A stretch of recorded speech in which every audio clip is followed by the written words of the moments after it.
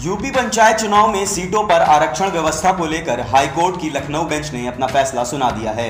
High court ने कहा कि साल 2015 को आधार मानते हुए सीटों पर आरक्षण लागू किया जाए। इसके पूर्व योगी सरकार ने कहा कि वह साल 2015 को आधार मानकर आरक्षण व्यवस्था लागू करने के लिए तैयार है। इस पर न्यायमूर्ति ऋतुराज अवस्थी व न्यायमूर्ति मनीष माथुर की खंडपीठ ने 25 मई तक यूपी पंचायत चुनाव संपन्न कराने के आदेश दिए हैं। हाईकोर्ट के फैसले से ये साफ़ हो गया है कि अखिलेश सरकार के दौर में बने शासनादेश के आधार पर पंचायत चुनाव के सीटों की आरक्षण की रूपरेखा तय की जाएगी ऐसे में साल उन्नीस सौ पंचानबे के आधार पर योगी सरकार ने पंचायत सीटों के लिए आरक्षण की लिस्ट जारी की थी, जिसके तहत ऐसी तमाम सीटें आरक्षण के दायरे में आ गई थीं, जो पिछले ढाई दशक में आरक्षण में नहीं आई थीं। हालाँकि कोर्ट के आदेश के बाद अब दोबारा से सूबे की सीटों के आरक्षण की लिस्ट जारी होगी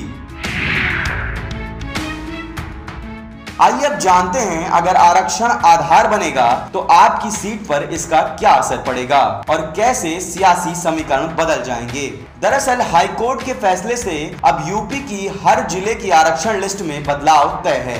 चूँकि पहले रोटेशन के आधार पर लिस्ट बनी थी, लेकिन अब साल 2015 के शासनादेश के आधार पर आरक्षण सूची में हर ज़िले में परिवर्तन होगा। ऐसे में चुनाव प्रचार की तैयारियों में लगे संभावित उम्मीदवारों को गहरा झटका लगा है क्योंकि जहाँ सीट सामान्य थी, वहाँ की सीट अब बदल जाएगी। वहीं जहाँ पर सीट आरक्षित थी, वहाँ की सीट के सामान्य होने की संभावना है। आइए जानते हैं कि अब आरक्षण कैसे लागू होगा। आरक्षण के लिए आधार वर्ष बदला है, प्रक्रिया नहीं है। इस चुनाव रोटेशन या चक्रानुक्रम आरक्षण का ही पालन किया जा रहा है। इसमें इस प्रक्रिया में आज जो सीट जिस वर्ग के लिए आरक्षित है, वो अगले चुनाव में उस वर्ग के लिए आरक्षित नहीं होगी। इसके लिए एक तय रोटेशन है। सबसे पहले एस सी महिला के लिए सीट आरक्षित की जाती है। इसके बाद एस सी ओबीसी महिला और जनरल के लिए सीट आरक्षित होती है। वहीं साल 2011 में हुई जनगणना के आधार पर आरक्षण तय किया जाएगा। ऐसे में अगर किसी ब्लॉक में 100 ग्राम पंचायतें हैं और पिछले चुनाव में वहाँ 27 सीटें, पिछला वर्ग के लिए आरक्षित थी। अगले चुनाव में 27 के आगे ग्राम पंचायतों की आबादी के घटती हुई आबादी के तौर पर प्रधान पद आरक्षित होंगे।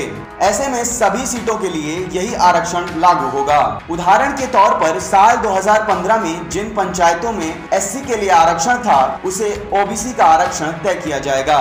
ऐसे ही जो पंचायत अब तक ओबीसी के लिए आरक्षित होती रही हैं, उन्हें एससी के लिए आरक्षित किया गया था। इसके बाद जो बची बाकी पंचायतों को आबादी के घटते अनुपात में चक्रानुक्रम के अनुसार सामान्य वर्ग के लिए आरक्षित किया गया। इसी को आधार मानते हुए अट्ठावन हज़ार एक सौ चौरानबे ग्राम पंचायत सीटें और पचहत्तर जिला पंचायतों में से तीन हज़ार इक्यावन जिला पंचायत वार्ड सदस्य के लिए आरक्षित किए गए थे। लेकिन कोर्ट के आदेश के बाद फिर से 2015 के लिहाज से सीटें तय होंगी। ऐसे में जिन्होंने पोस्टर और बैनर छपवा लिए थे, उनकी दिलों की धड़कन बढ़ना लाजमी हो गया है। वहीं हाई कोर्ट के फैसले के बाद अब यूपी में त्रिस्तरीय पंचायत चुनाव को लेकर आरक्षण की नई लिस्ट आएगी। यूपी की योगी सरकार ने इलाहाबाद के हाई कोर्ट के लखनऊ खंडपीठ के सामने आरक्षण में खामी की बात स्वीकार कर ली। ऐसे में हाई कोर्ट ने साल 2015 के आधार पर आरक्षण लागू कर पंचायत चुनाव कराने का आदेश दिया है। वहीं सरकार को 15 मई के बजाय 25 मई तक पंचायत चुनाव पूरा कराने का आदेश दिया गया है।